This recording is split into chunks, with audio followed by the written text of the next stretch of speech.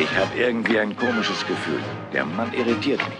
Wieso kann der Sie irritieren? Für Sie sollte er nichts weiter als eine Arbeitskraft sein. Das sind die ersten Alterserscheinungen, wenn man Angst vor Gelegenheitsarbeitern hat. Demnächst werden Sie noch unter Bett nachsehen.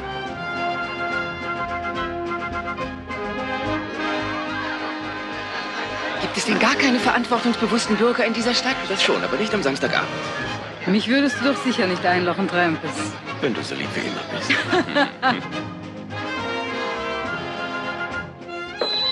Sag mal, wie wär's mit einer Partie Schach? Wie in alten Zeiten.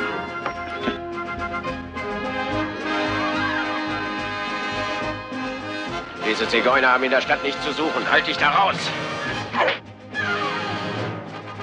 Wo reitet der Junge hin? Welcher Junge?